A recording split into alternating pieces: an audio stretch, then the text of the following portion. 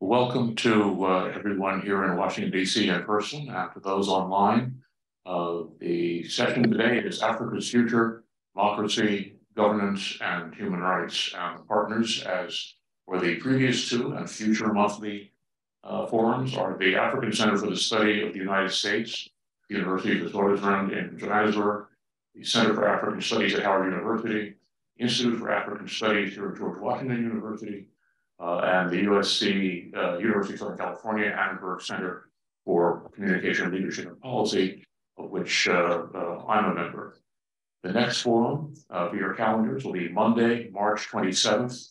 The topic will be trade and investment. For those here in person in Washington, we have speaker biographies on that side of the room. we have water in the back of the room. Coffee is on the way. And for those online, we're going to have speaker bios and uh, other, uh, other featured information available uh, on our website by, uh, by this time next month. So uh, uh, that will be something to become an information resource, not just for these, um, these forums, but we hope for the partnership and for those on both sides of the ocean. We'll go shortly to our speakers in Africa, but first, uh, we have uh, someone uh, here, uh, Jennifer, who just came back from Nigeria uh, from observing the election there, and one of the largest, the largest democracies, largest in the world. So, Jennifer, a few notes on the election. Sure. I, I thought I'd maybe frame it up um, and, and, frame the event up a little bit uh, before maybe talking a bit about Nigeria. Um, first, at the Africa Leaders Summit in December, um, President Biden announced that the next um, Summit on Democracy would be held in Zambia at the end of March, March 29th and 30th.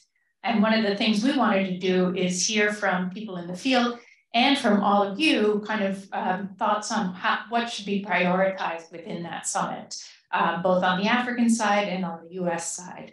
Um, and so these seminars have been, we've had some fantastic speakers, but it's also been a great conversation with those attending. So we do hope this will be interactive as well.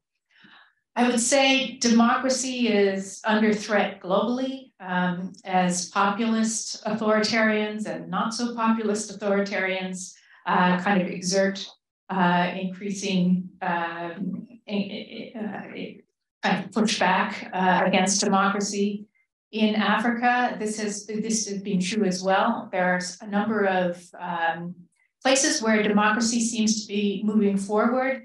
Zambia would be one of those, I would say. Tanzania, where the president, uh, uh, unlike her predecessor, has opened civic space somewhat. Uh, but in recent years, insecurity and militarization uh, has led to a number of coups in Sudan, Chad, Mali a couple of times, uh, Burkina Faso, and Guinea. Um, at the same time, you've had uh, external partners come in, particularly in the case of Mali or Central Africa, um, kind of uh, propping up in a way and defending uh, some of these authoritarian re regimes. I'm thinking of Wagner's entry into CAR, into Mali, um, kind of uh, less on national stability than on, on um, kind of regime defense. Uh, cyber laws and anti-terror laws have been used to clamp down on civic space, uh, Eswatini, Uganda, uh, Zimbabwe. And I think very important is social media has been used to stoke division um, and polarize societies. And this is one I think is probably most uh, threatening to, um, to democracy worldwide. Uh, because at the core of democracy is a consensus that even if our policies disagree and we disagree on who we want to lead us, the consensus around the system of democracy that protects certain freedoms of assembly, of speech, um, and, and we will stick with the rules of the game, win or lose. And I think the, um, and we will, will have civic discourse and thoughtful, deliberative discourse around policies. I think we see it in this country, but we see it elsewhere um, when that uh, social fabric begins to fray. um, people kind of move into their camps, it becomes very difficult um, to have a, a, democratic process. Um, and uh, youth and women's participation in politics has also kind of not progressed necessarily as fast as uh, youth and women uh, might expect and uh, like.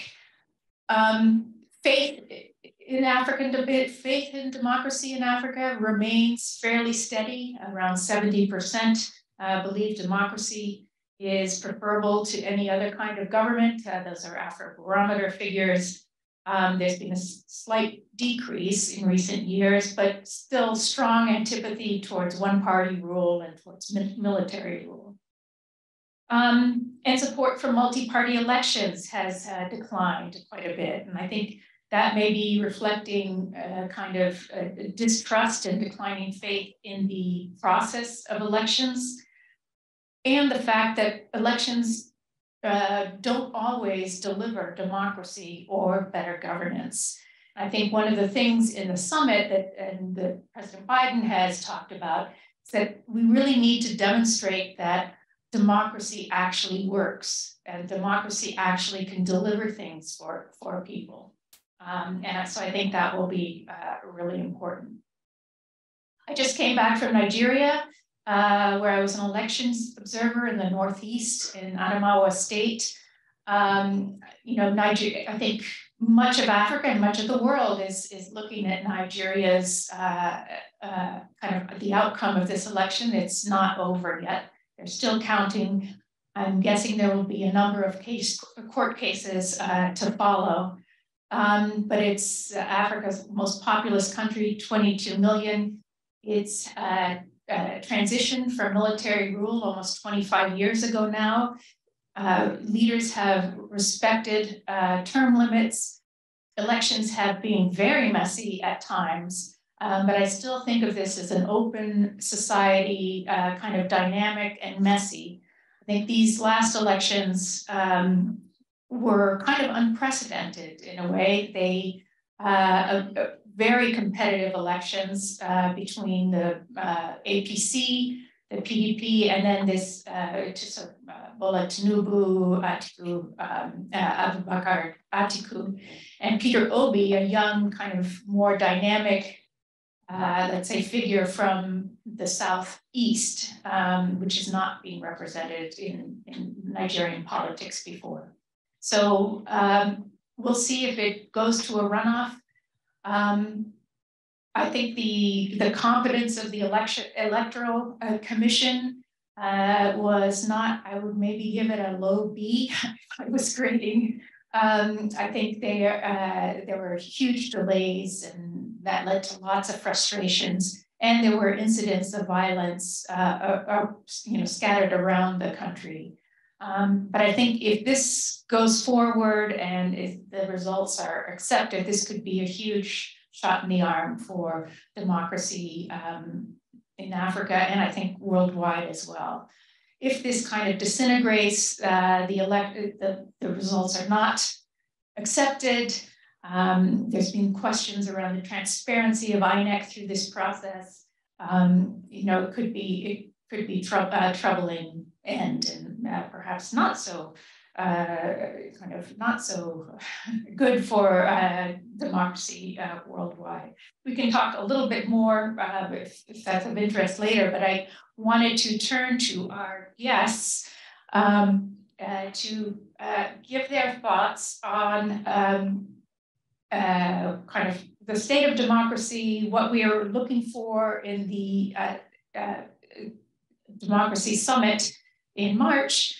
Um, and then we'll open up for uh, questions and discussions from the audience. So let's turn first to uh, Honorable Commissioner Urvina Garisha Tapsi Suno, um, who is uh, a member of the African Commission on Human and People's Rights. I think you all have her bio, uh, have the bio, so I'm not going to go into a long introduction. Uh, but Honorable Commissioner, welcome. Um, we look forward to your remarks um, and the floor is yours. Thank you. Thank you. Thank you very much. Uh, distinguished guests, ladies and gentlemen, I am honored at the invitation and opportunity to speak to you all today, to speak about the important areas where Africa and the United States can collaborate in promoting democratic principles and good governance. I am the Special Rapporteur on Freedom of Expression and Access to Information in Africa, a mechanism embedded in the African Commission on Human and People's Rights, the African Commission is a key institution in Africa's efforts to promote and protect human rights and good governance. The African Commission was established in 1987 under the African Charter and is tasked with the promotion and protection of human and people's rights in Africa. The Commission has the potential to play a very crucial role in the US-Africa partnership for the promotion of good governance in Africa. As part of the Commission's mandate, the, the Commission periodically monitors various African member states on various issues of human rights concern. In country reports submitted to the Commission by member states on the human rights uh, situation, the Commission has the opportunity to make recommendations to the African governments and other stakeholders on how to promote and protect human rights. As we all know, democracy is the foundation of modern societies, and good governance is essential to the prosperity and stability of any country. The African continent is at a pivotal moment in its history, with many countries making progress in strengthening their democratic institutions promoting transparency and fostering good governance. However, there's much work that still needs to be done. Some of the challenges that still exist in democracy are weak institutions that are not able to provide the necessary checks and balances required for effective democratic governance. Corruption is also a barrier which undermines accountability and transparency and weakens the capacity of institutions to deliver public services. There are also low levels of meaningful political participation, especially of marginalized communities. And this is also a factor that undermines democratic process. Limitations of media in many African countries also tend to be problematic for the full functioning of democracy. Despite these challenges, there are several opportunities for strengthening democracy in uh, Africa, including youth engagement, civil society engagement, regional integration, and economic growth. These present many opportunities for collaboration, and I will speak to four possible considerations that I hope we will consider throughout this engagement. First and foremost, the United States and Africa can work together to strengthen democratic institutions. This can be achieved through supporting the electoral process, promoting the rule of law, and building the capacity of institutions responsible for promoting democratic governance. The United States can also provide technical support for developing and implementing legal frameworks that promote democracy, such as freedom of the press, the right to free and fair elections, and the right to peaceful assembly and association. The African Commission has been active in promoting and protecting the right to a fair trial and the independence of the judiciary. Working with various governments, the Commission, the African Commission, can help to strengthen this work of strengthening democratic institutions. Secondly, we can work together to promote good governance. This will involve building strong and effective institutions that are transparent and accountable to the public. The United States can assist African governments in developing anti-corruption strategies, improving public financial management, and strengthening institutions that promote public accountability. This work can be facilitated through the African Union through its organs which are committed to combating corruption in Africa. At the African Commission specifically, we can ensure the continued monitoring and reporting on corruption in African countries. The African Union Advisory Board Against Corruption can support this work when monitoring states by providing technical assistance and advice on anti-corruption measures. Thirdly, the US can strengthen its support to civil society organizations in Africa. Civil society sector plays an important role in promoting democracy and good governance. They provide a voice for citizens and help to hold governments accountable. By supporting civil society organizations, the United States can help to strengthen the foundation of democracy in Africa. The African Commission also works closely with many institutions in the continent, especially those with observer status. Through various instruments, including guidelines on the right to freedom of association and peaceful assembly, the Commission has been active in promoting and protecting the rights of civil society organizations. Fourth and last, the US and Africa can collaborate in promoting economic growth and development. Democracy and good governance are essential for economic growth and prosperity. By supporting trade and investment, promoting private sector development, and providing technical assistance, the US can help to create jobs and stimulate economic growth in Africa. In conclusion, promoting and deepening democracy as well as good governance are essential for Africa's future prosperity and stability. The US and Africa can work together in many ways to promote these values. We can strengthen democratic institutions, promote good governance, support civil society organizations, and stimulate economic growth and development. By working together, we can help to create a brighter future for Africa and the rest of the world.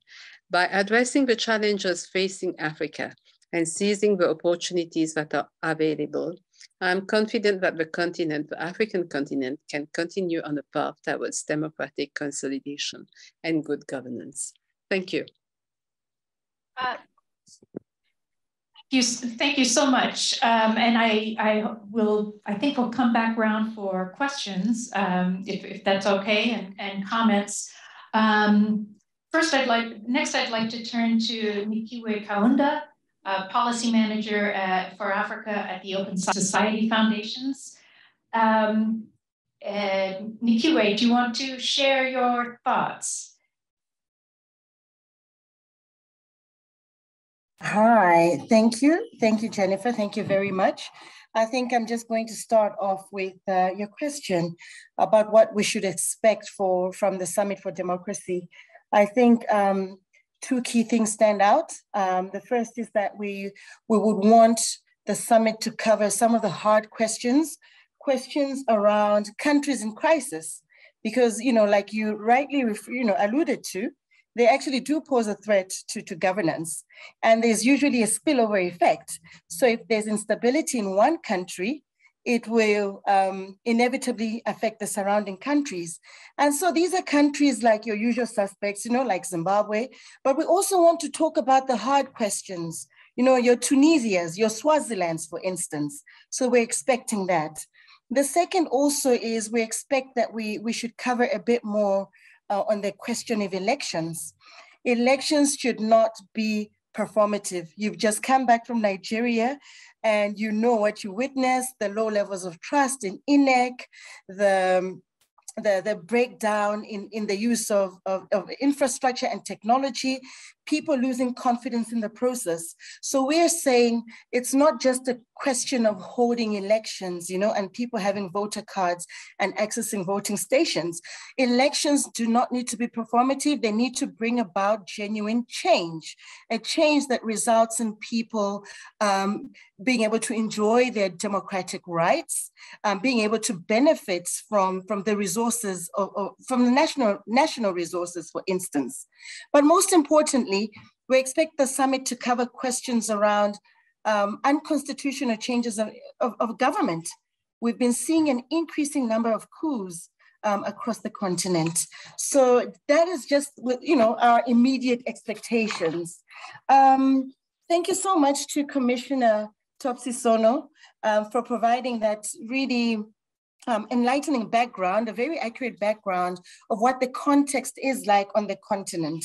I just want to spend um, a few minutes talking about the past US Africa Leader Summit that took place in December, the commitments that were made, um, the, the, the narrative and the tone of that narrative, and what it actually means for civil society organizations working in, in democracy, governance, human rights, um, even humanitarian responses, really.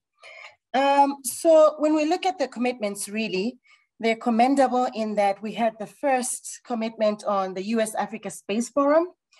We had a commitment around the creation of a Presidential Advisory Council on African diaspora and how it can engage in the United States, which is a very pivotal point because the diaspora is the sixth um, targeted stakeholder, if you like, by the African Union. And then we also had the US's formal support for the African Union to become a permanent member of the G20. And then the fourth biggest commitment really was the financial commitments, 55 billion, that would be advanced towards Africa to help it meet some of its developmental um, and governance goals and priorities as articulated in African Union Agenda 2063. So those were some of the really huge commitments. But when you analyze them, you know, are these really new or is it more of the same? For instance, the summit was heavily um, geared towards enterprise and trade. Um, nothing really new there. Um, there was very little opportunity for civil society actors to actually engage with policymakers.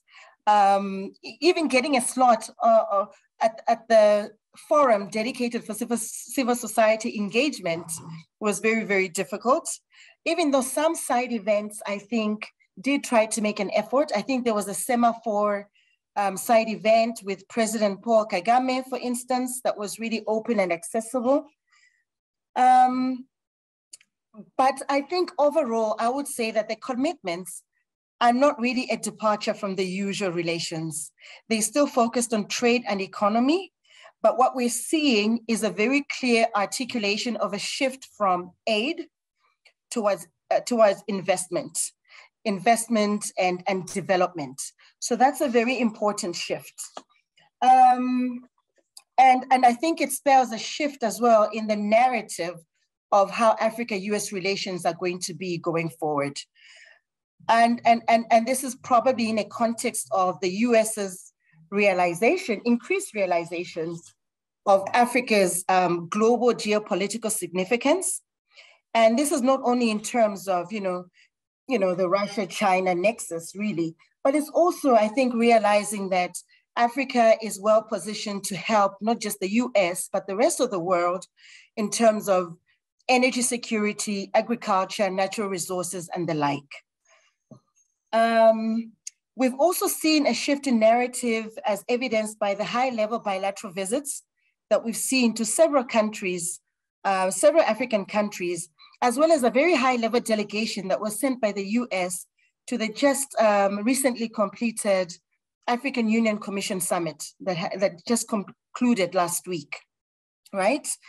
And um, and then, you know, when you take the thought further, you would think, oh, it was really great that, you know, the US Africa Leaders Summit was held eight years after the initial one. Um, but it's, it's more or less of the same rhetoric, right? It's a US strategy for Africa. Africa does not have a strategy for the, for the US. So even though that is, is somehow unbalanced, I think it still poses as, as a great opportunity, actually, for Africa and the African Union itself to, to utilize the space um, to develop an international relations policy on how the continent is going to actually engage with, with, with, with the US.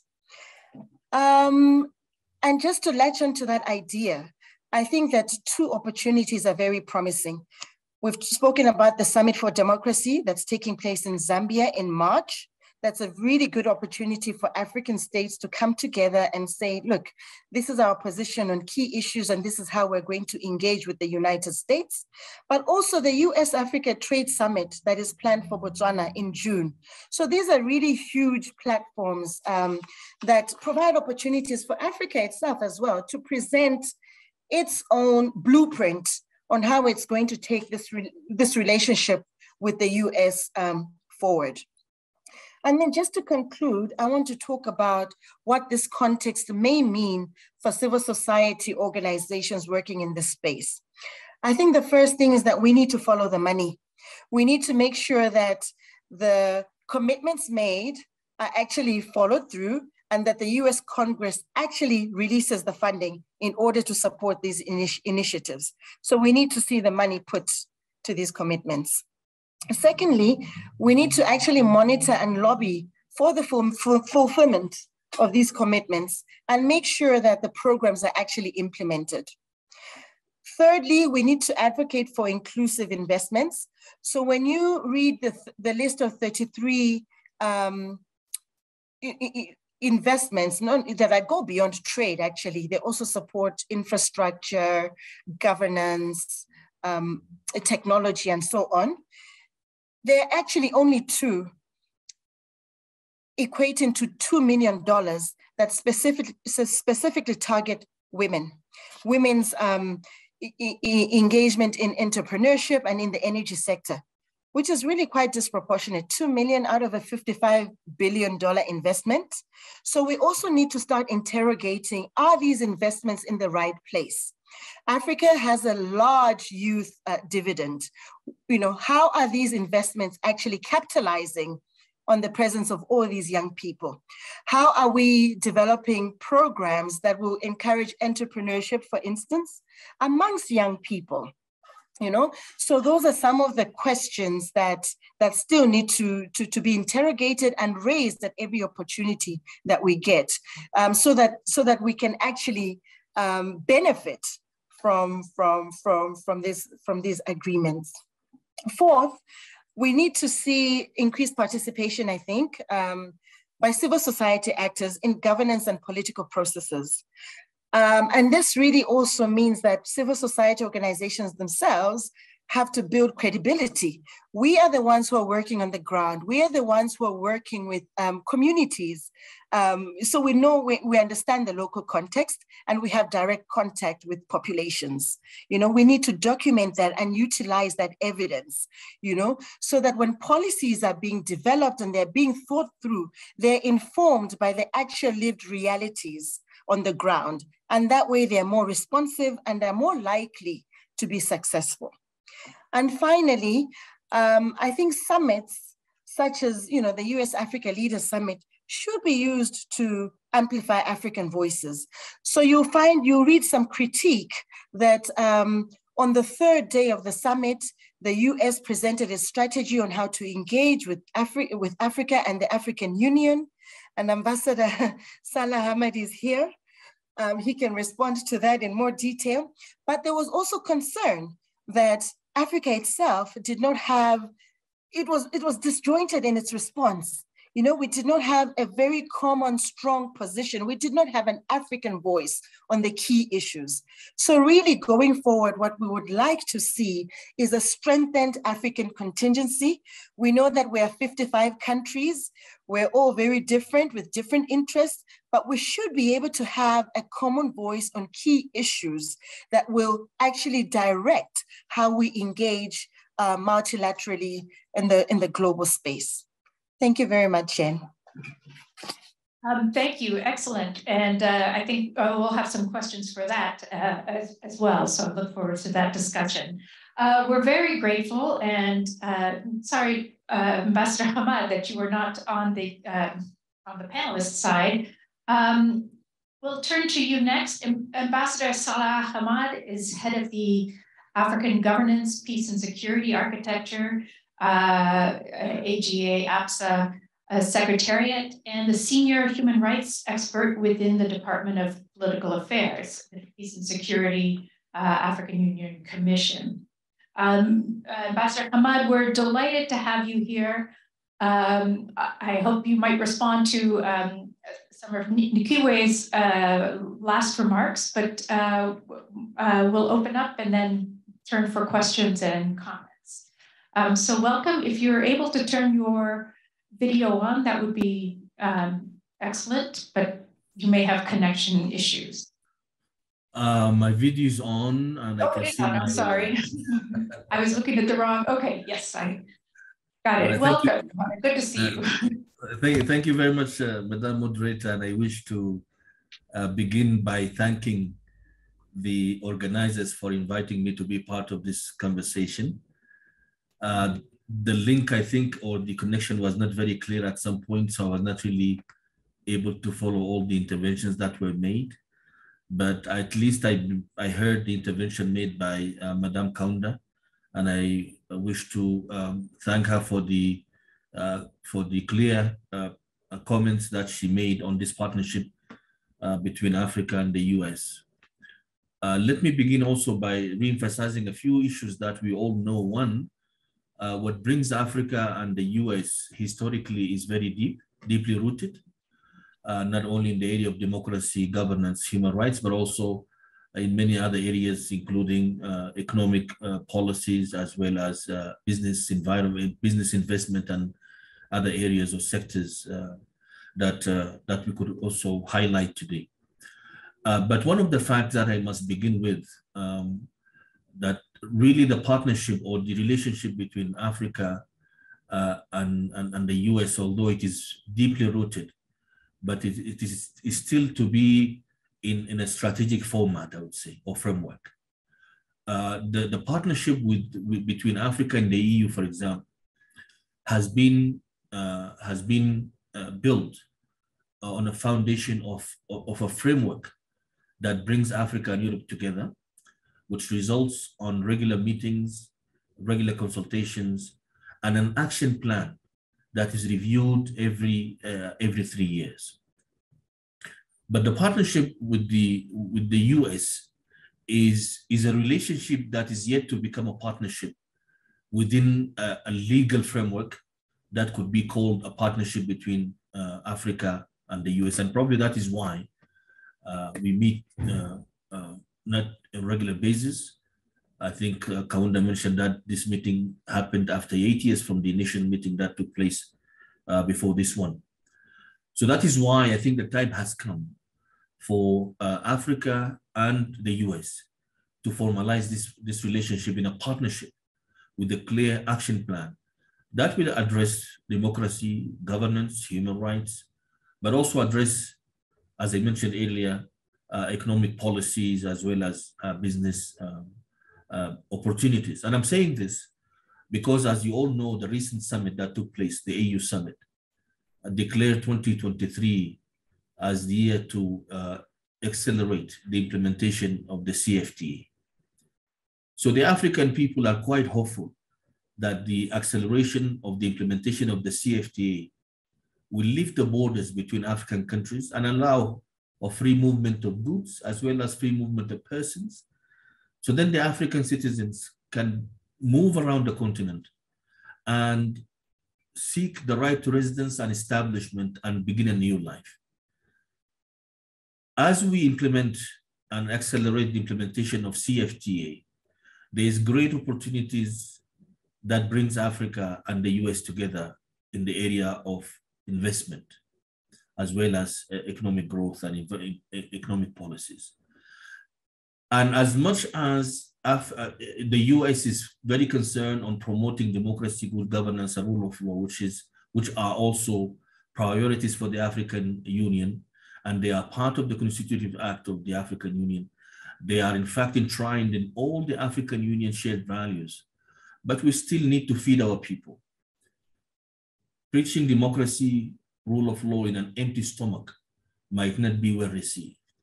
That is why we need to really look into the right to development as a human right and try to begin supporting Africa to build itself, to build agenda, to implement Agenda 2063.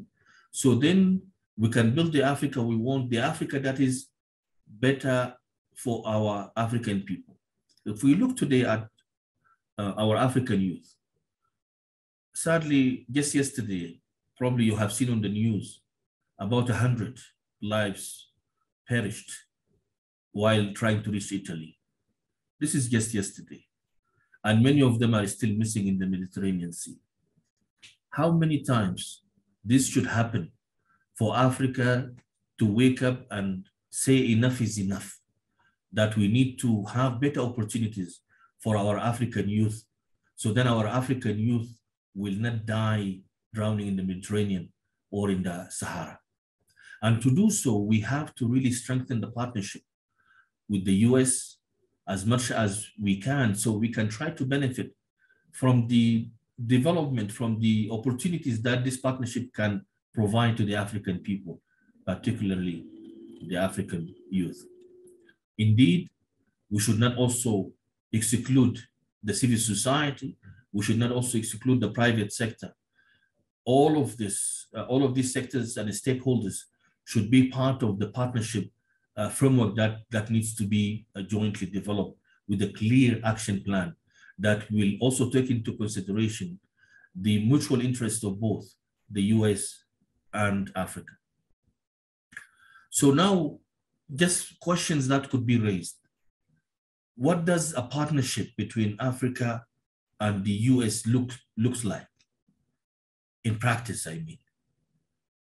Is it a partnership of multinational companies or international companies that will come after the natural resources uh, in Africa and try to, you know, ignore the, uh, the African shared values that we are trying to advocate for, or the uh, human rights and business that recently been adopted by, by the policy organs to promote human rights within business, the business sector in Africa. So we really need to, and I'm glad to see as part of the uh, panelist, Professor Khadiagala, uh, who is one of my mentors, and, and I hope he will address this particular issue of the nature of this partnership within a legal framework uh, between Africa and the US. Then Kaunda, and I'm sure others will also uh, focus or to some extent address the issue of unconstitutional changes of governments in Africa, the issue of democratic deficit and governance deficits that we are facing. Africans are trying to promote African solutions to African problems, but that certainly will not exclude the partner, the strategic partnerships that we have, and it will not also exclude the, the friends of Africa that have, we have been able to uh, to promote their friendship for, for the longest. But then, how can the U.S. intervention be when it comes to addressing issues of uh, governance deficits as well as uh, democratic government, uh, democratic deficits. I'm raising this issue because I don't want the US also to be seen as, as, as, an external entity that is intervening in the sovereignty of our member states. So this is an issue that also need to be, uh, to be addressed. If we look at the issue of trade, business growth, and, and business policies in general, the CFT, uh, I, I, would say, provide a, an excellent framework uh, as, as, as, as a continental secretariat that is speaking on behalf of Africa when it comes to these issues of, of trade and economic growth uh, within the partnership or the proposed partnership with the US. So now the US, instead of sitting with 55 member states, they can sit only with the secretariat based in Accra to try to formalize ways and means to promote uh, the, the, the, the, the business policy that would be part of the, the, the partnership that would be developed. What is the what is the long-term outlook of this partnership? Is the focus going to be trade and business only?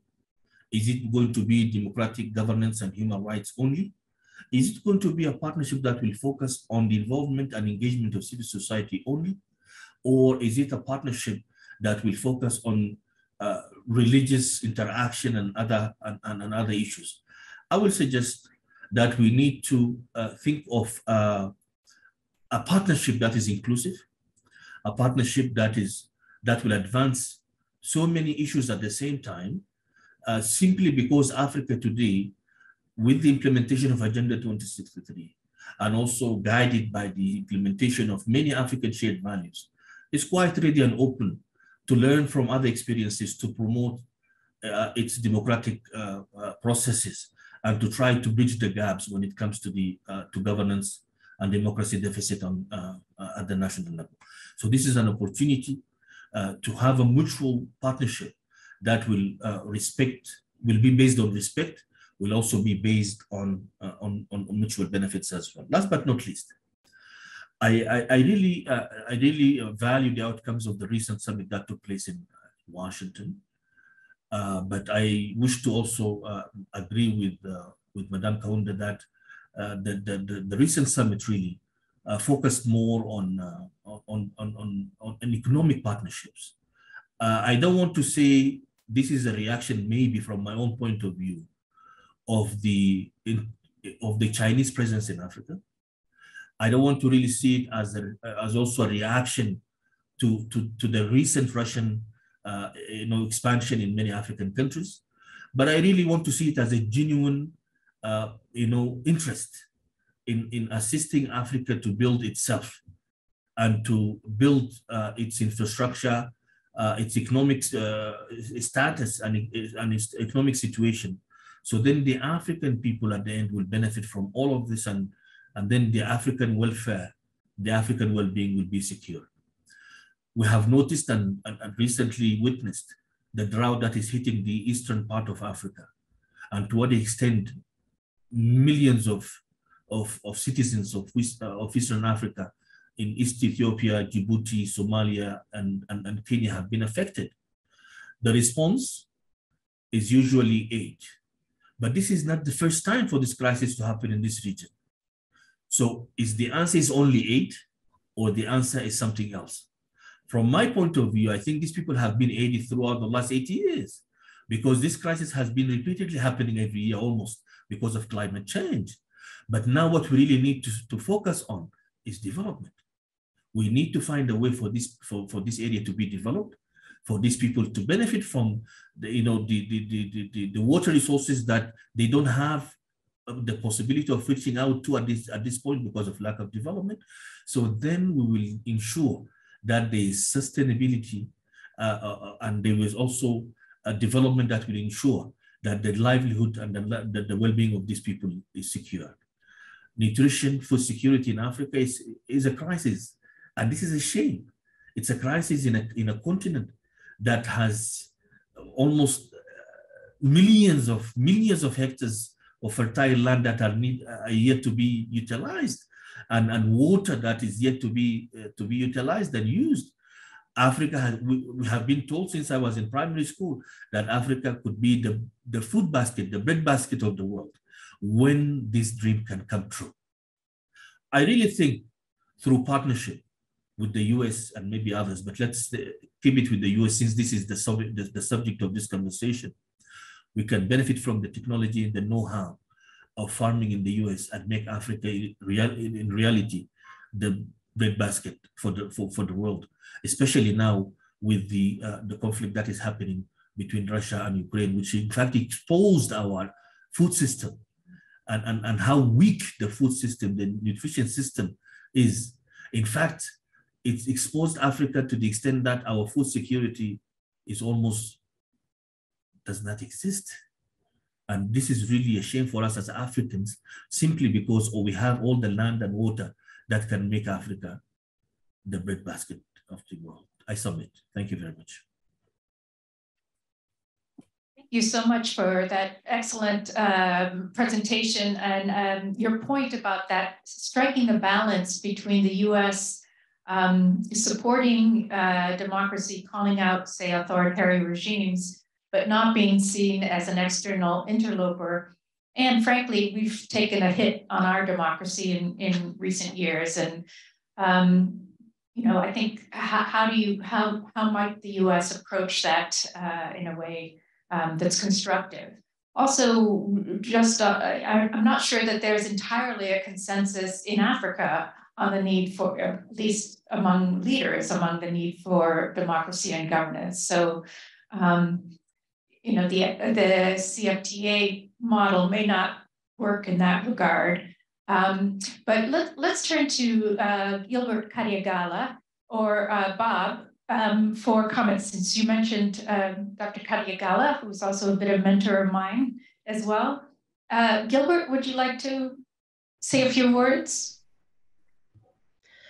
Uh, Jennifer, thank you very much. Um, I do appreciate the panels and uh, they have really raised interesting issues uh, that I just briefly want to touch on a few. And the first one, I think, is a point that is raised by uh, my good friend, Ambassador uh, Salah, which is um, to what extent can this relationship be formalized uh, along the, the EU, EU Africa lines? Uh, and I think it's an intriguing issue because um, uh, there has been a lot of reluctance in Africa, or at least within some parts of Africa, to engage with the US formally.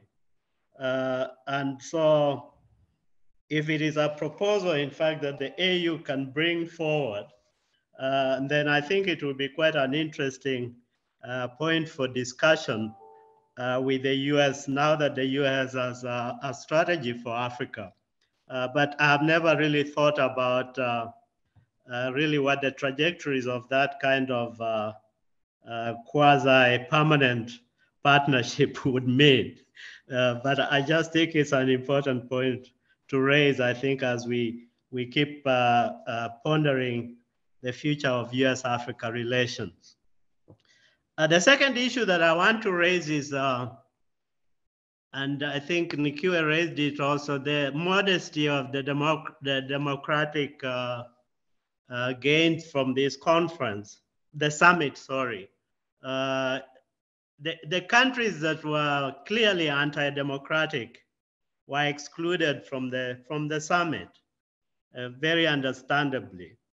Uh, but then uh, the issue is whether in fact the summit was the right forum to be discussing democracy and governance issues because a lot of the people who are at the table are actually not democratic regimes.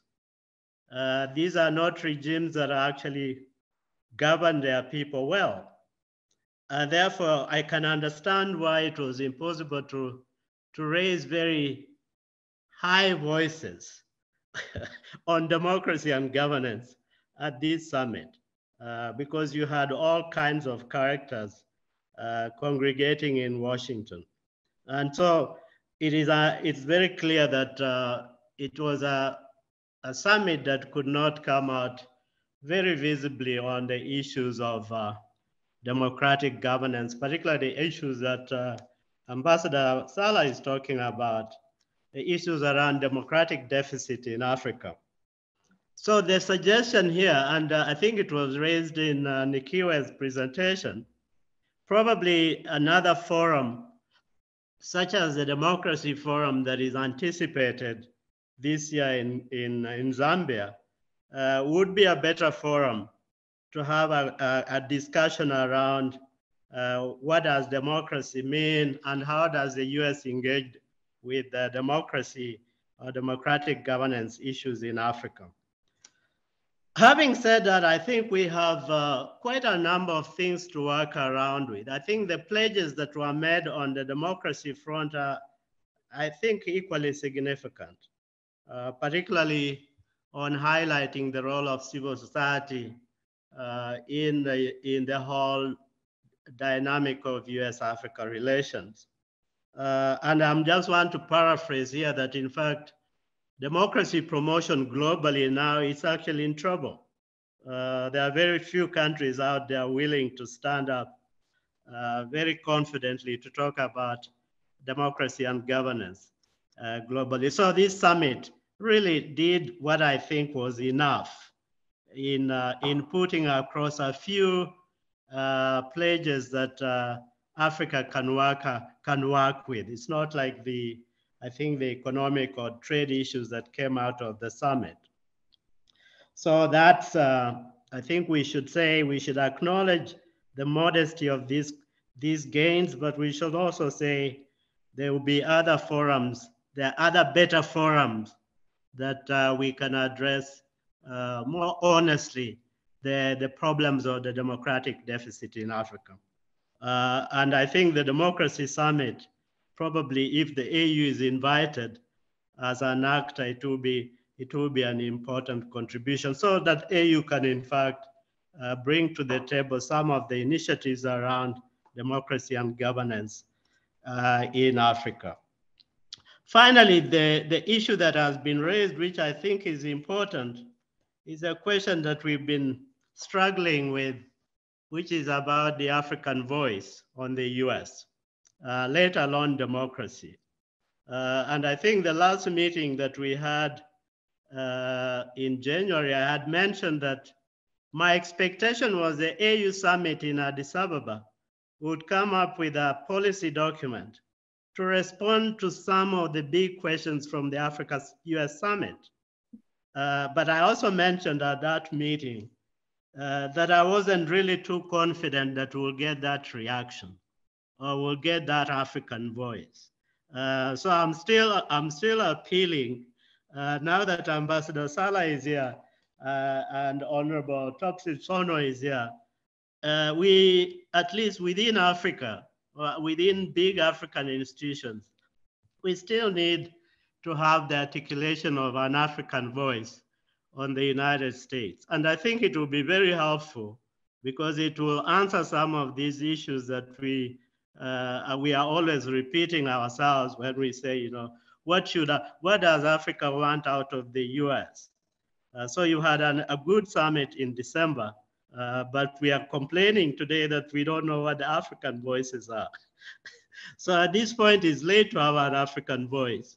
But I'm saying that we should work at uh, galvanizing an African position in whatever form it comes on the United States, whether it's on democracy or security and, and all these big issues. In fact, that will contribute to what Ambassador Salah is talking about in uh, how you actually shape that partnership in the long run. And thank you very much, Jennifer. And uh, good to see you and, uh, and all the participants and uh, I, um, I should stop here for now. Um, excellent. Thank you, Gilbert. Uh, great points as always. Uh, I don't know if Bob wanted to say a few words or shall we go to some questions for the panelists? No, I think uh, uh, uh it will be better. Thanks, thanks very, very much first for the invitation for uh, the moment, maybe I'll make it a very, very short intervention so that we can allow time for engagement uh, rather than uh, many panel uh, presentations. And I think um, Bob played a key role in organizing this. So thank you, Bob. no, thank you. Thank you. So I, I think uh, in a summarized way, uh, what I see as the democracy, human rights, and governance issues arising out of the US Africa Leaders Summit is the fact that focus was uh, on democratic transitions more than other democracy and human rights, civil society issues. Uh, in the final action plan, there's an allocation of 75 million US uh, dollars to elections essentially.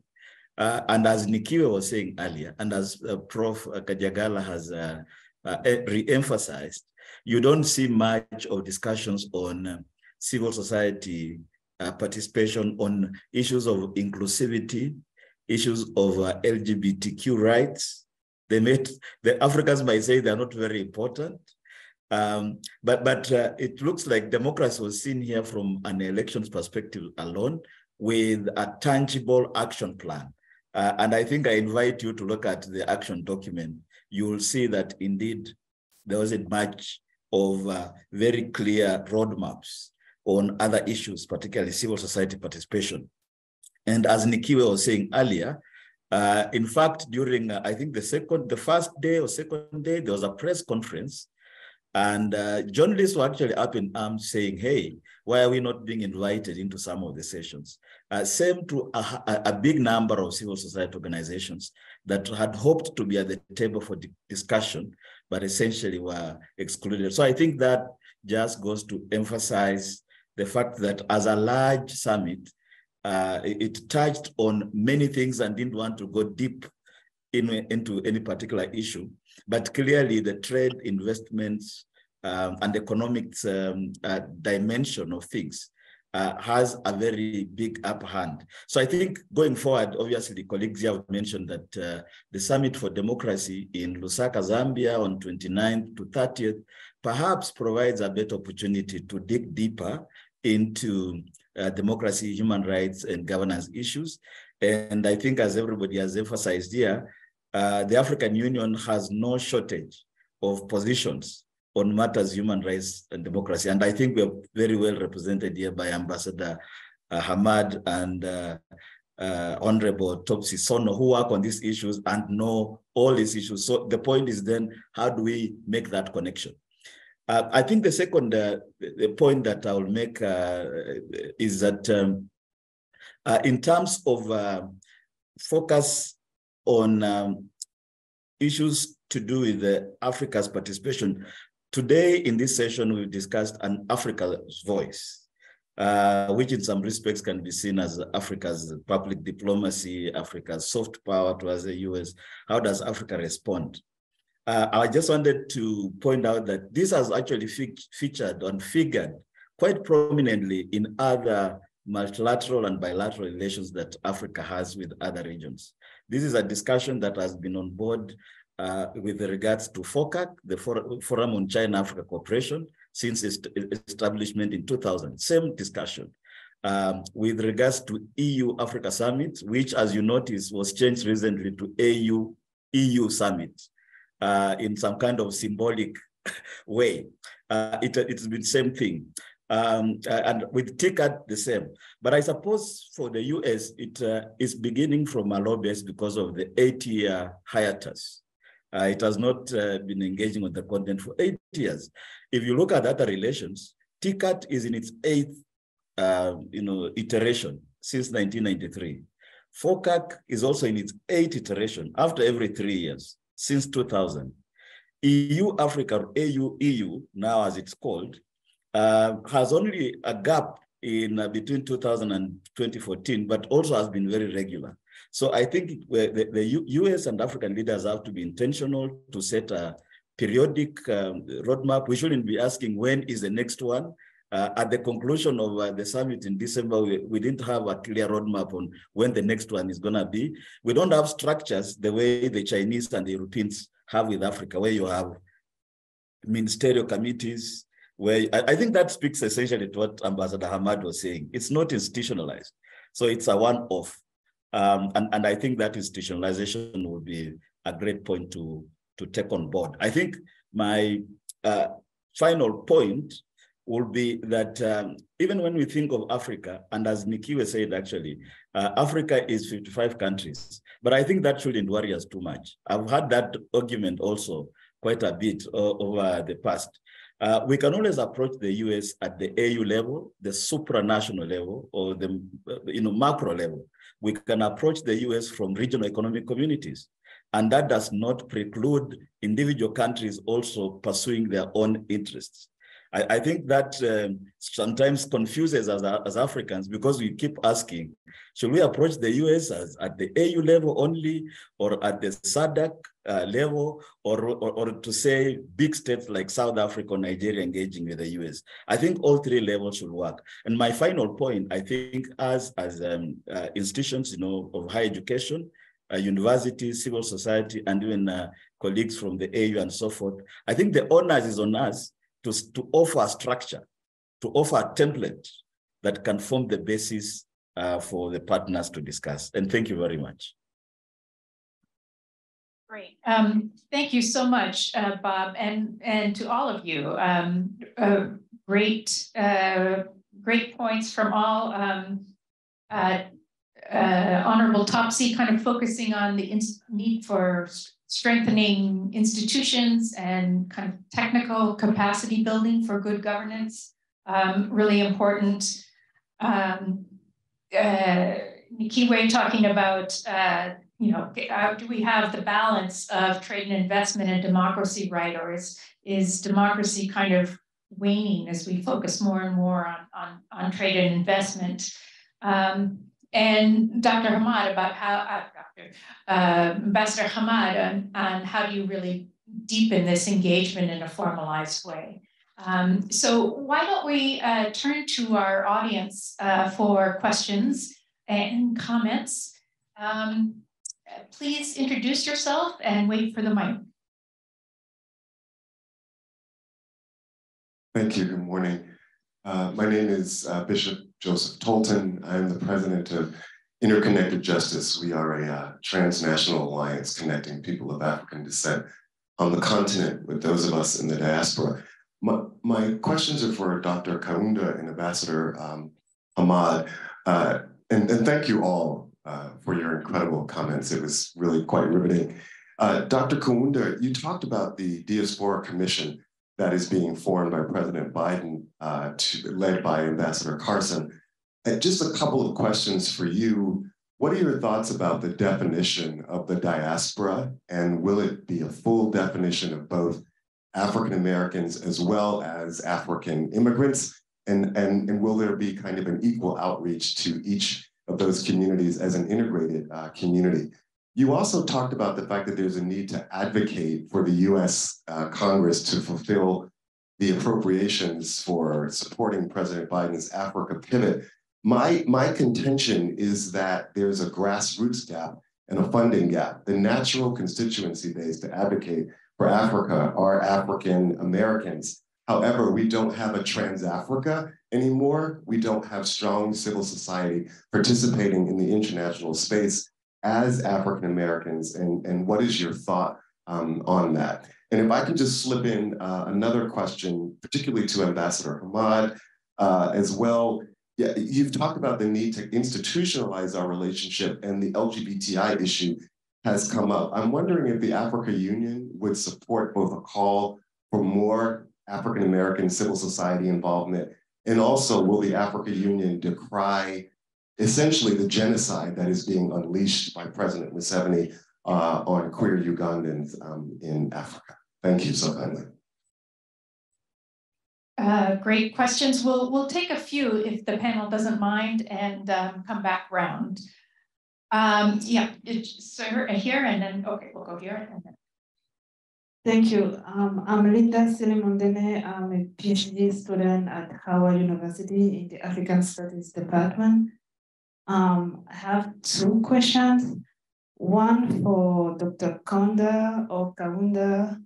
Um, if I get you well, you said that the relationship between the US and Africa is imbalanced. And you said some point that Africa has nothing to offer, like in politics, to the US.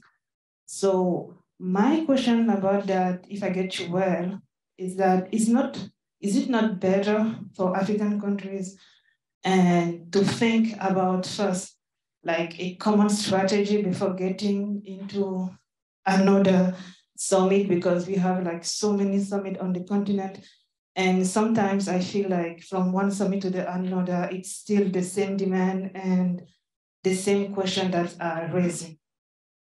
So the second question that i have is like for everybody and including, I think, the guy from the African for the study of the United States, when he said that, yes, that Africa, we need to offer also things. And I believe in that because I'm from the generation of under 40 of the continent, and I feel like all my life I've been hearing about democracy and people coming with solution for new democracy thing on the continent. And when we look at all the world, and especially I was in France in December, and we see how democracy is in crisis all over the world. And I'm sometimes wondering, how can African offer or what African solution do we have for democracy and how we can use our own indigenous knowledge to create or to, mod, to have a model that we can propose to the world for democracy because for me, if we are just copying from one continent to another continent, we are going to face the same consequences that those continents are facing today in 20 years. So my question is, do we, can we create or can we think of a model of democracy that Africa can offer to the world? Thank you. Thank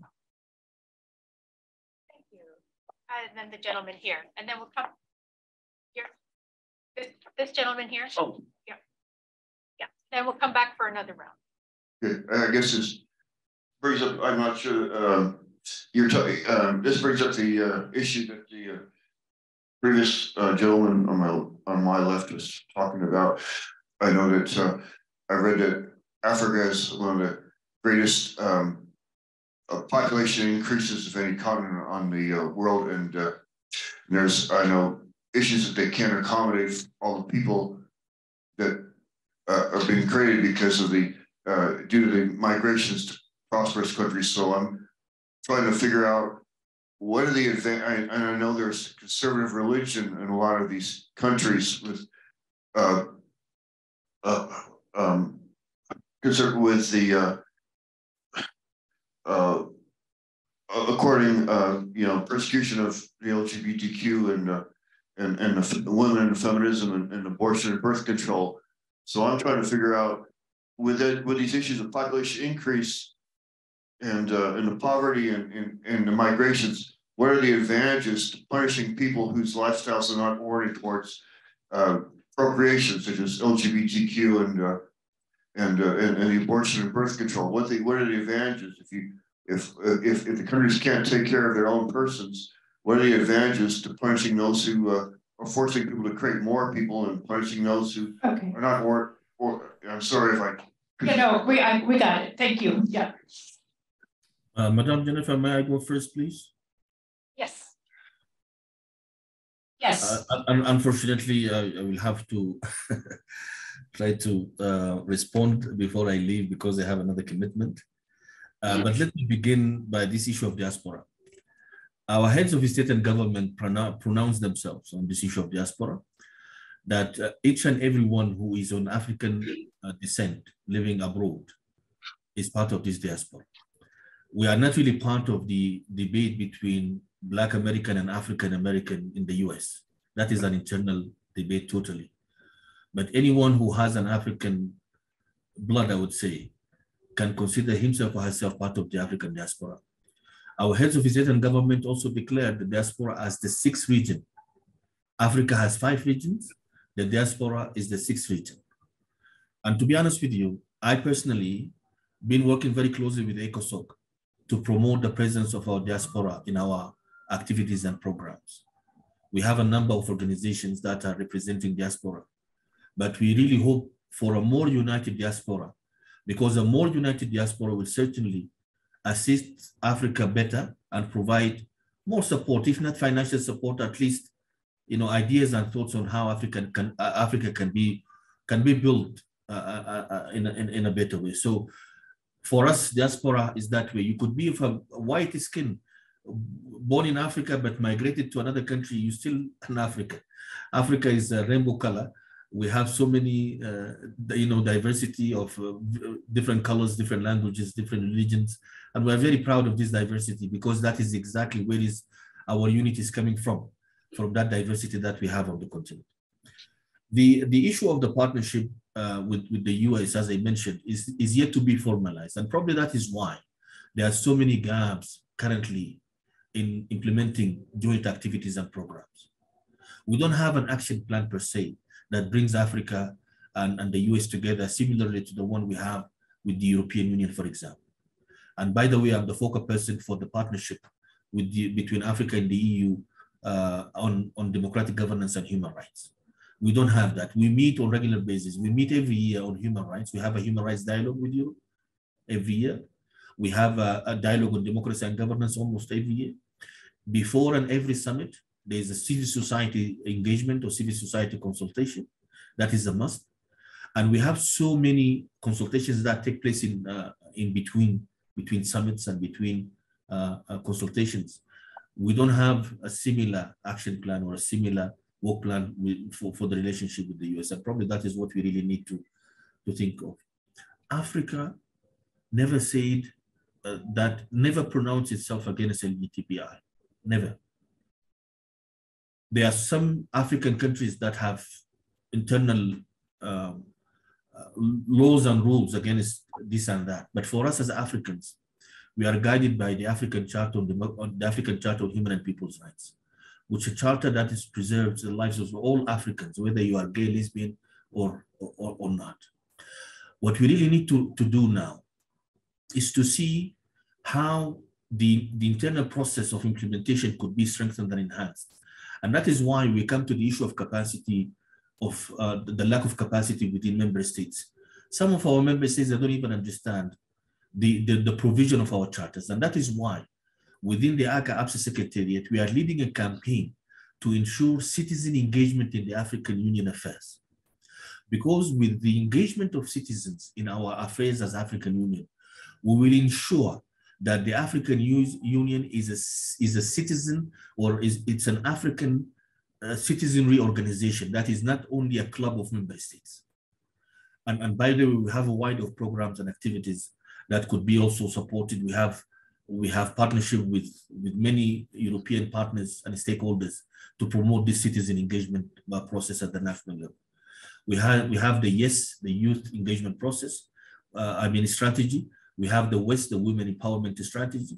We have so many other programs and activities, but unfortunately the time will not allow me to speak about all of them. What, I, what I'm trying to say is there are so many opportunities for you as Africans and for those who are uh, friends of Africa to, to, to, to try to strengthen and enhance the national capacity to make sure the African shared values are implemented, domesticated, and promoted at the national level.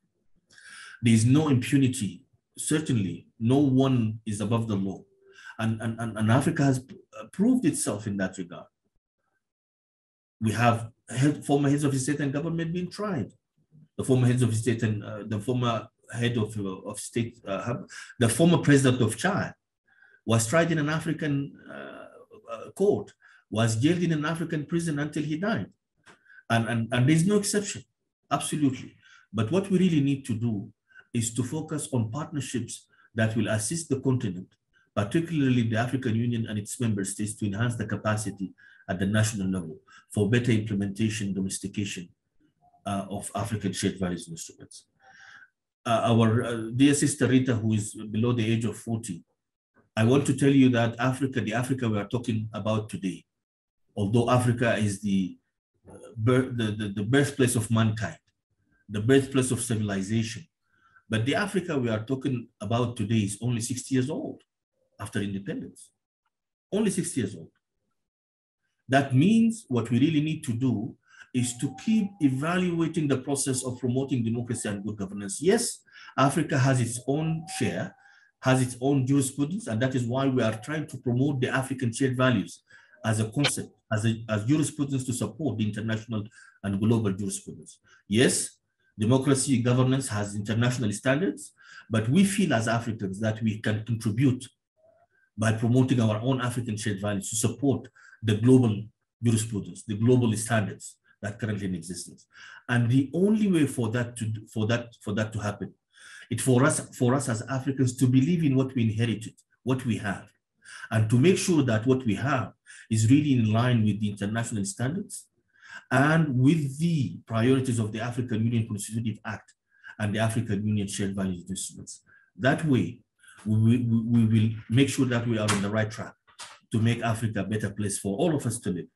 I thank you very much. Uh, thank you. Thank you, Ambassador Salah. And uh, uh, uh, will you be needing to go now, should we say, or? Uh, unfortunately, Jennifer, I, I thought we will start on time. I'm not blaming you, of course, for the delay. Technology can sometimes, you know, drive us crazy. But unfortunately, I have another commitment that I need okay. to attend to. It is not as important as this one, but unfortunately, it's a commitment. Listen, we are delighted you were able to join us, and uh, thank you for uh, great answers and and for your presentation. Um, uh, lo looking forward to maybe being part of the conversation in Zambia with God grace in the future, in the near future. Thank you. Yes, absolutely. Um, thank you, and I will uh, turn back to our audience for uh, questions. Good. Uh, gentleman here sorry to point, but. Uh, no problem. Um, Rodney Smith, I'm a, a, PhD student at Howard in uh, the Department of African Studies. Uh, my question is for the commissioner. Um, I don't want to mispronounce the last name. Uh, commissioner Tashi. Um, what efforts are being made by the African Commission to um, promote or to research log and then uh, escalate or bring to the world uh, traditional or African legal mechanisms that can be used in supplement to international law or international standards in, in terms of dealing with uh, uh, international criminal law. Yes, yes, sir.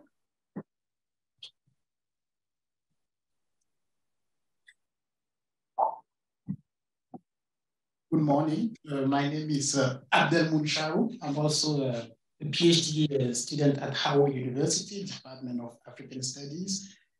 I'm originally from Cameroon, and uh, I was laughing because my uh, fellow classmates, they kind of asked what I was about to ask, but you know, I'm going to ask it also so that at least we're going to have an answer that is close to whatever they wanted to know. So I'm pretty much I would like to thank the audience first, the, the, the speakers first, and uh, I what I want to say is about uh, my love for cultural aspect of democracy and governance and uh, human rights.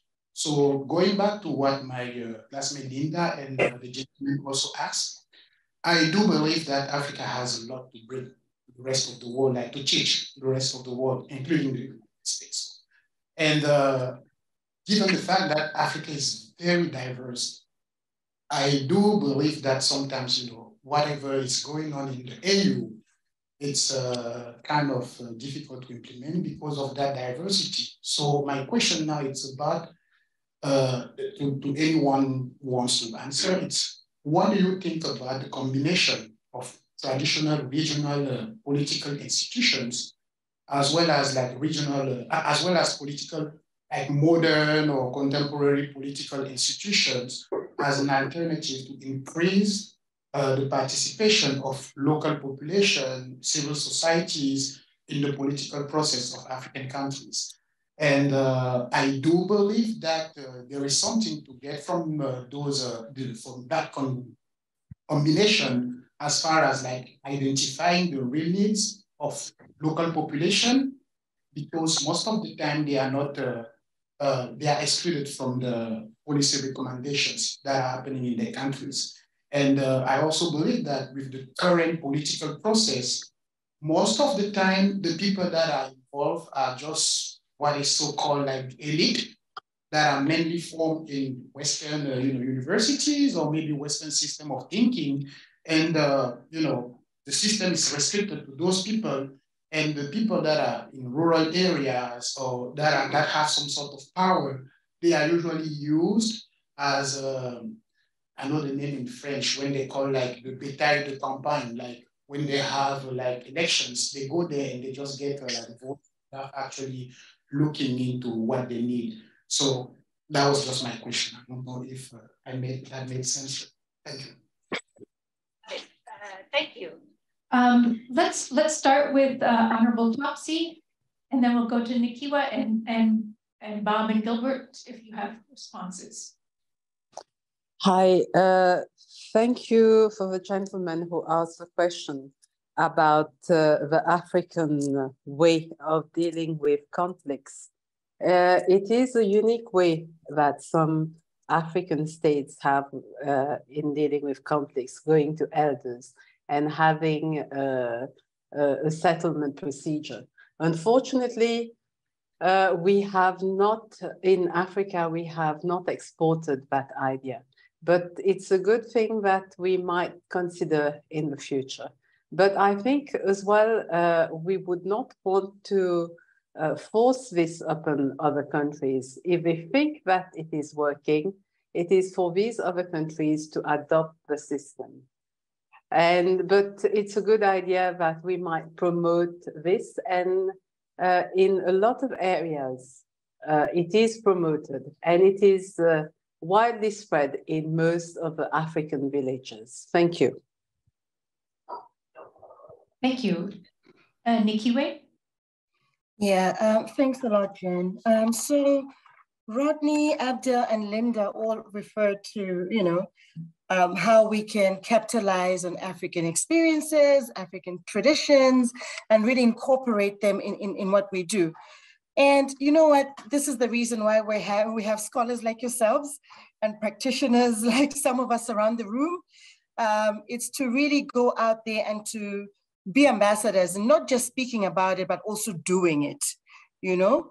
Um, so we're really hoping that you, you could be the ones to bear that torch. And when you go out into practice, you know, you're able to implement um, what you're referring to. But when you really talk about um, the legal system, you will find that a lot of transitional justice practices in the region, when you go to areas of conflict, whether it's it's or where there's been instability, I know the examples from Malawi, from Mozambique, um, where you know African tra transitional justice principles and methods have been incorporated. You know, so it's not like we don't have the experience; we do. It's really about again amplifying African voices and, and, and ways of doing things. Um, another, another example really is countries like, like Botswana, which has a dual common law and customary law system that runs parallel, you know? Um, so it, it, it really is about amplifying, sharing these practices and seeing whether, whether they can be absorbed, you know, um, in, in different localities. Um, thank you for your questions, very thought-provoking. Go Howard. um, Bob or, or uh, Gilbert, or should we go to the next round? Okay, no, I think I can, uh, oh, Gil, Prof, you can go first.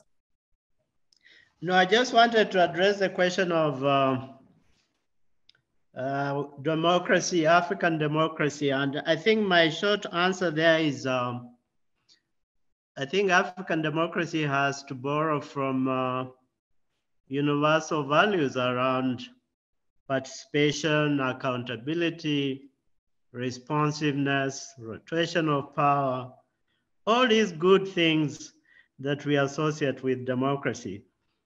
But I think the lady who asked that question was talking about, I mean, uh, how, how, can Africa contribute, therefore, uh, to these values?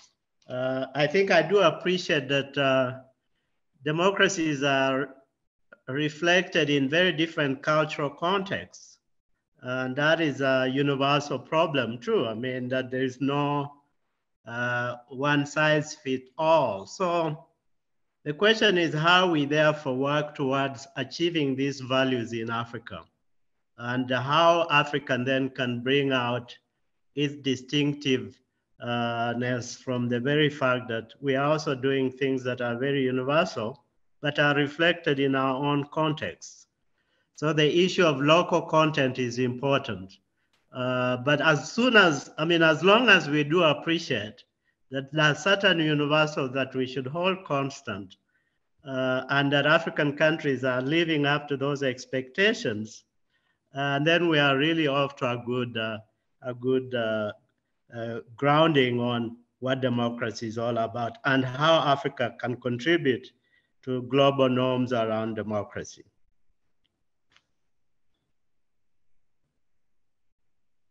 Bob? Bob, I'm um, done.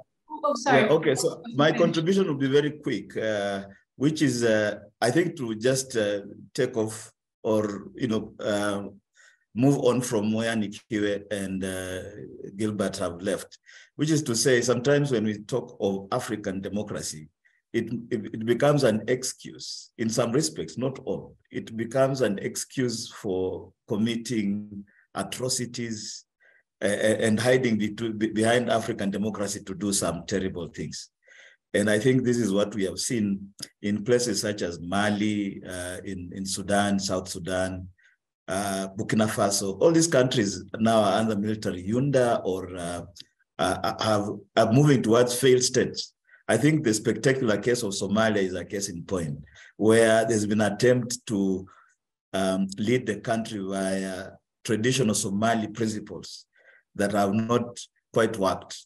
Uh, and, and so, as my colleagues have said, there are cases where uh, democracy has worked. It, it, still works in some many villages across the continent, but sometimes when it is appropriated by certain leaders who do not have respect for universal values like participation, peace, and so forth, then it's abused.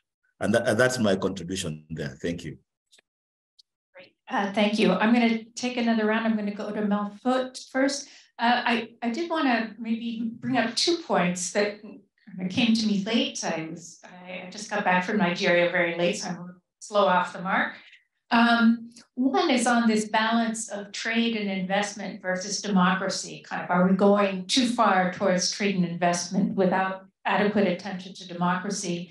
And I just wonder, we, you know, does it have to be either or? Um, can we not better link the democracy and governance agenda to the trade and investment agenda?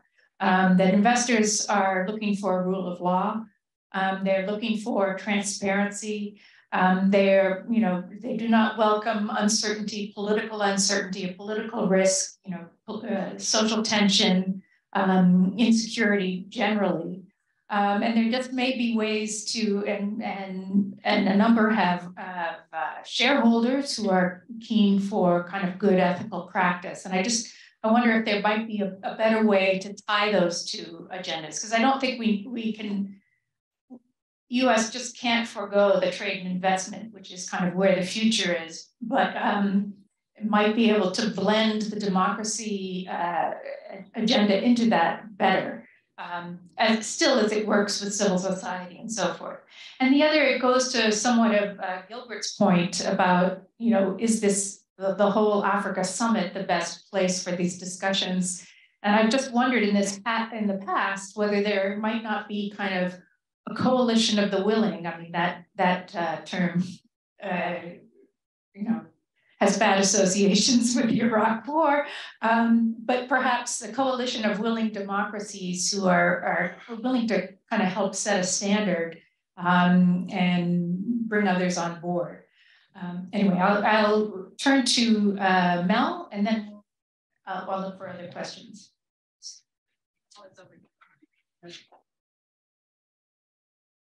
Thank you, uh, Jennifer. Uh, enjoyed the discussion very much. Uh, you know, when it comes to the U.S. Africa Summit, I've always felt the two weaknesses of the summit was Africans came here individually. Uh, they came on their own airplane. They didn't caucus before coming. Uh, if Africans would have came and said, uh, President Biden, we got four things we want from the United States. We want seven hospitals around the continent, blah, blah, blah. They would have left with two of those. They would get the third one by the end of the year. The other issue was the diaspora, and I think you raised it. Uh, the reality is Africa didn't caucus with the diaspora before the summit. And uh, even now, um, you know, the, the view of the diaspora is, is standoffish. Uh, there is no uh, push to engage the diaspora. The definition of diaspora, they don't want to really talk about. I want to say something about the, um, the diaspora uh, committee that the government is setting up. I have had uh, discussion with senior level uh, government people. They're talking about 12 people, you know, going to be on this. Uh, it's going to be led by a U.S. Foreign Service officer. So that kind of speaks to uh, the fact that they're going to have a political agenda. And I suspect that uh, uh, people who don't necessarily go along with U.S. government position uh, are not going to be included in, you know, that discussion. So that's something that, to bear hold. But I also think that, um, you know, in order for us to to really make this thing work. Uh, you know, Africans are going to have to stand up and, and, and define themselves. There, there need to be a really a push around Africa to make everybody agree on something.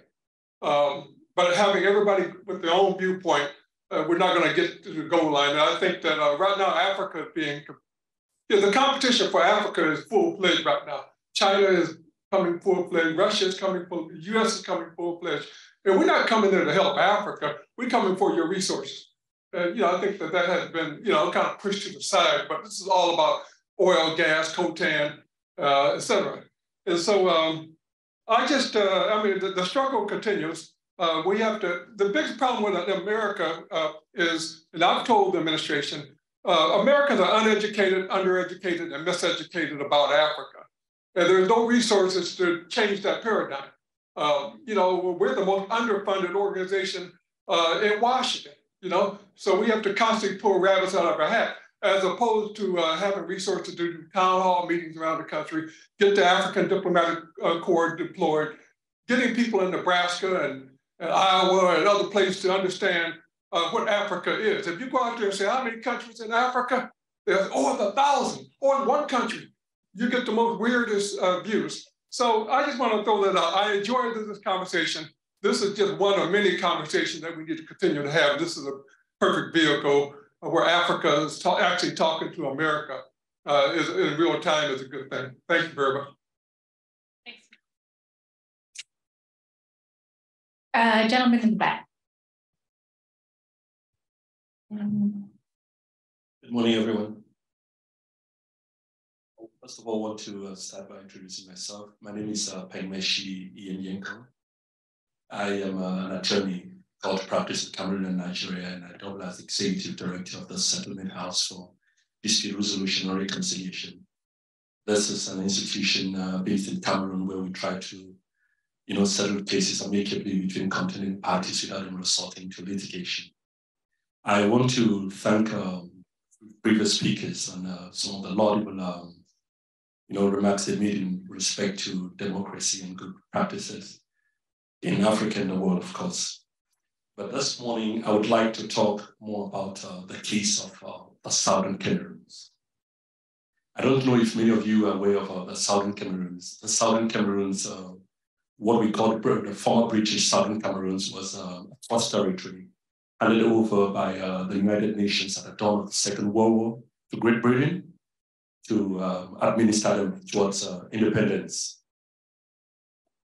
Regrettably, 60 years later, the southern Cameroon is at the crossroad. As I speak, more than close to a million people are displaced. More than 500,000 have been killed by the, the, the regime of President Paul Biya. And as I speak this morning, I mean, I run an orphanage in, in, Cameroon, and uh, uh, one of the kids was shot in the leg this morning by a security official. What is the African Union doing about this? What is the international community doing about this? In December, I watched Paul Biya when he came for the conference here and how he was lauded. I mean, he, he's, he's in power, well over 40 years in power. What is the United States and, and, and, and, and the Western states, what we call the civilized uh, nations, doing you know, to, to authoritarian regimes like, like Paul Biya in Africa. What are they doing? Because this, this to us is a mockery on democracy. And I just to add to what uh, one of the speakers said in respect to um, America not focusing, the US not focusing so much on uh, you know transition to democracy, but actually looking at best practices, human rights practices at the empirical level in Africa. I think that's important.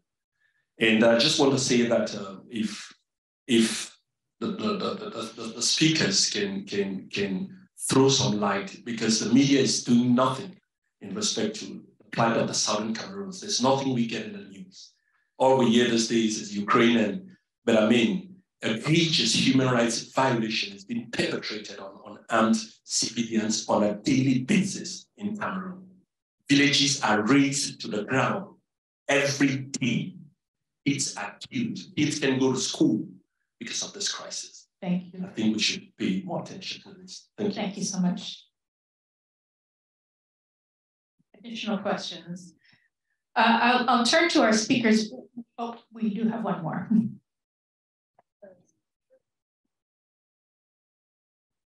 So hi, my name is Mary Apollo. So I'm originally from South Sudan, and we led a group called the Global Emergency Disaster Responder, uh, the group that was founded during the COVID. So in the US Africa Summit, we have submitted a declaration uh, for, the, for the White House that are asking news demands and our perspective uh, on the, the policy that we want to see in the, uh, the regional level and internationally. So I wish that we get more people to solid the solidarity from different organizations and an individual to support our initiative. Uh, so with but the my my point is Africa has a, a rate of uh, like 75% of the younger people are youth and the people who are in power uh, up uh, within the ages of 65 uh, so this there is a, a, gap of 30 years different uh, like generation gap our, and our generation have their own uh, views, have their own perspective, and they want to be part of decision making. So I just want, yeah, want, want to know the point of view of the speakers when it comes to African uh, youth and their participation or leadership. As a, we have to create like international dialogue between the elder generation and the younger people. So you, we reach to a level where we can agree on certain things uh, to engage young people on that, or what we can do further. Uh, this is also a question that I to raise. Thank you. Thank you so, so much.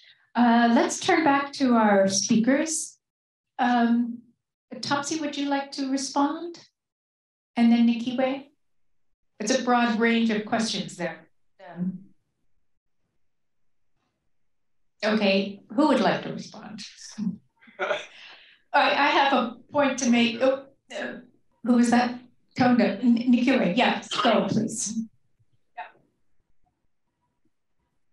Yeah. Nikiwe? I'll, I'll go after Prof. Khadiagala. He had his hand up. Yeah, thank you, Nikiwe. Thank you, Jennifer. Uh, I think I want to start with your question, which was, uh, has the pendulum gone too far? between trade and democracy? And I think that's an excellent question. Uh, and you are correct that uh, there should be no distinction between trade and democracy. But as I said from the beginning, democracy promotion is in trouble. And we are not in an era where you had conditionalities that were clearly targeted at the promotion of good governance linked to trade agreements, uh, linked to investment agreements. You remember that era of conditionalities.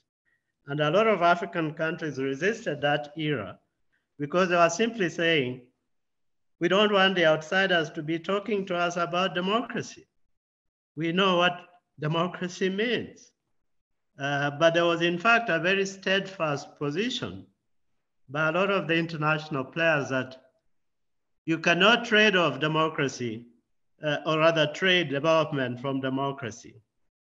So I think we've lost that, that, that, uh, that era. I think we are no longer in that era, and there are a lot of explanations for that.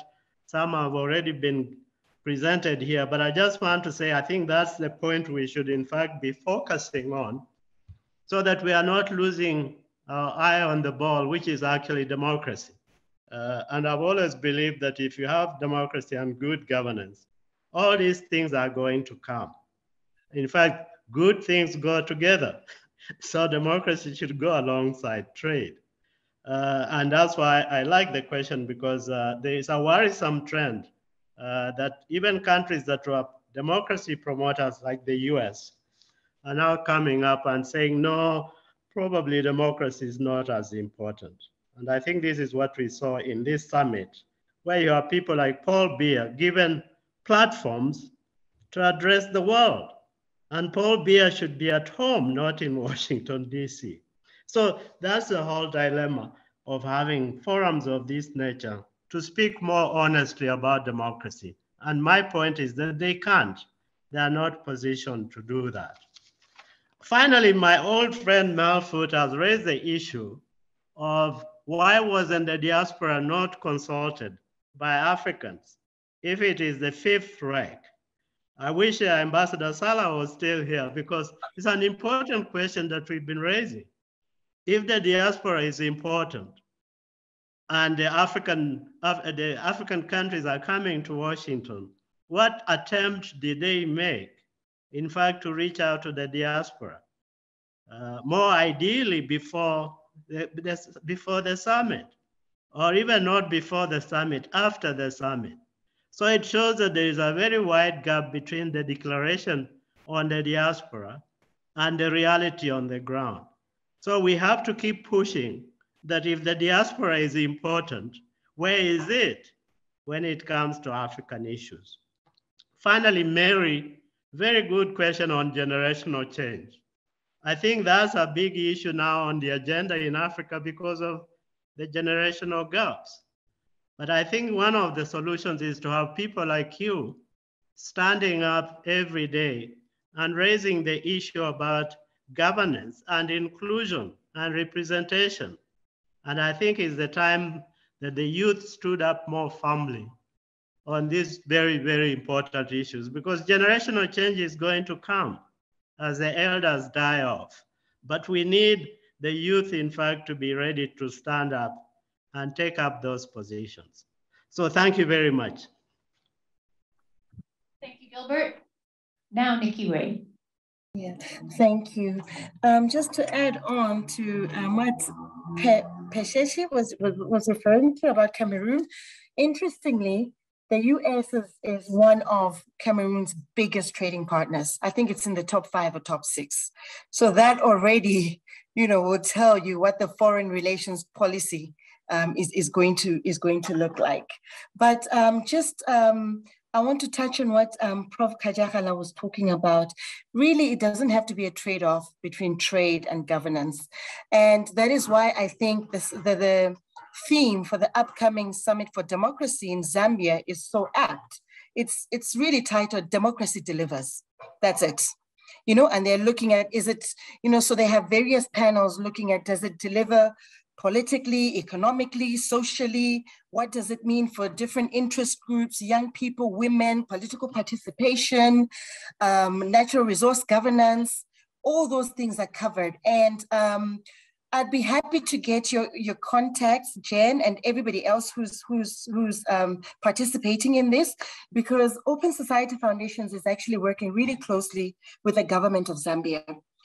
Um, there is a third day of the summit that's being planned, which is the 31st of, of, of March. The two official days are 29th and 30th, but the government has agreed to a third day where we're going to focus on policymakers engaging with civil society actors.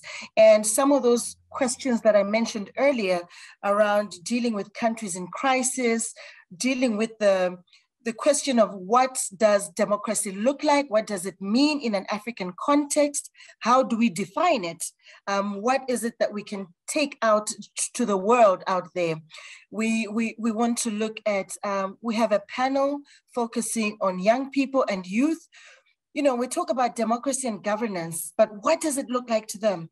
You know, um, are there tangible benefits, you know, to this you know, all these democratic dispensations that we have. So I'd really love to share information because one of the things that we're planning to do is to have online um, dialogues pre and post the summit so that it's not, it's not a once-off discussion. And um, I can assure you that the Zambian government is very aware of the responsibility that it carries in terms of not only positioning itself as as one example of, of, of, of good governance, but also of you know bearing the torch and um, providing a platform for other African countries to share their experiences of, of, of what is working, um, working not only for, for the state politically, but also for, for the people. Um, and then just one thing I, I, that I'm really taking away is a very, very pertinent question about how we engage with the diaspora. I've made a note of that. I've made a note uh, under the proposal as well that we actually need to be engaging with um, American audiences as well. You know, explaining what Africa is, you know, what we have, how we do things. I think that we take it for granted that we're all on the same page and we understand um, uh, the, the, the, issues. So that's a very good suggestion that it has to be a reciprocal process um, um, and that we have a lot to learn from each other and that we, sh we should definitely also include um, organizations in the diaspora when we talk about capacity building, awareness, and engagement in policy processes. So um, thank you very much for, for those suggestions. Thank Jennifer. you, yeah. yeah. I just was hoping to ask a follow-up question to Kaunda, specifically uh, as it relates to engaging the diaspora. You know, Reagan was, was not uh, pushing back against apartheid. It took TransAfrica to do so, specifically in terms of mobilizing African Americans and African immigrants uh, to be at the table. I think to Mel Foote's point, our organizations are underfunded, transnational coalitions are underfunded. Lastly, the government of Zambia is uh, does, has not decriminalized LGBT activity. In Southern Africa, half of the countries have. If they are the new beacon of democracy in Africa, on that third day, will OSF push for some content dealing with the LGBT issue? Okay, so I think Jennifer, if I may, I could add a point or two. Okay, and then we'll, yeah. we'll turn to Nikiwe for response to that response. Yes. Oh, no, okay, Nikiwe, maybe you can respond first. I think. Uh... Okay, yeah, just just a quick response. Yes, in terms of that third day discussions, we are partnering with other civil society actors as well, and. Um, look, we do not shy away from the issue of human rights. Um, and, and, and issues or questions around equity and representation and inclusivity and LGBTQI rights is, is definitely um, on the agenda. We support quite a number of actors in Zambia itself, actually. And the Decrim uh, campaign, um, we're fully behind. So we, we don't shy away from that at, at all. Um, yeah, point well noted around mobilizing um, African Americans and transnational coalitions uh, I, I take that on board. Thank you. Thanks, Bob. Bob. All right, sure. I, I think mine is uh, is hardly uh, any lengthy intervention at this point. I, I think it's almost as uh, as if um, uh, all the points of discussion, um, be it uh, the comparison between trade and democracy, or, or, or, you know diaspora engagement and so forth, all these things seem to suggest that uh, we need a solid substantive response. And that can only be done by us sitting down and having almost a blow to blow response in terms of creating a framework of engagement across peace and security, democracy and human rights. Um, and I think uh, people like uh, Mel, Melfoot, uh, who is here from Constituency for Africa, will be key partners in uh, crafting such a response. And I suppose the time is now to actually create that, uh, you know, framework of engagement that is, um, you know, Africa directed towards the US, but also response from the US uh, partners, including uh, civil society, including universities, including GW and University of Southern California and so forth. Uh, so in a nutshell, I thought uh, even if we went into, I mean, it's good to discuss the nuances and so forth, but ultimately, particularly from the AU perspective, uh, what we have seen is that when the AU comes up with common positions, it will have been um, colleagues from universities or civil society organizations uh, or think tanks for that matter that come up with initial drafts. Otherwise, waiting for Addis to come up with any solid document that can form the basis for discussion is waiting for Godot. Uh, so, so I suppose um, uh, in a nutshell, that's perhaps what we can consider. Thank you. I did, I did want to say one thing on Cameroon. Um, I mean, I do think it's shameful or surprising at least that there's not being more kind of proactive effort at uh, conflict resolution in Cameroon. I think part of this is uh, stems from a horribly obsolete tendency on the US government to defer to France when it comes to franc francophone uh, African countries in terms of conflict resolution or interventions. Um, also, I mean, you did ask where is the African Union? And I think in, in cases where US diplomatic intervention has been most effective, and I, I, think about Sudan, I think about Cote d'Ivoire, a number of other places, it has come in kind of behind uh, the regional economic body and behind the African Union.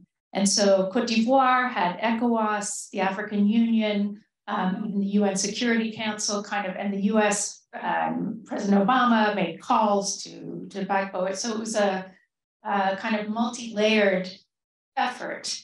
Uh, in Zimbabwe, where SADC had not um, uh, really uh, been particularly active on Zimbabwe, or, um, the US, for all its sanctions and uh, kind of loud rhetoric, was not that effective.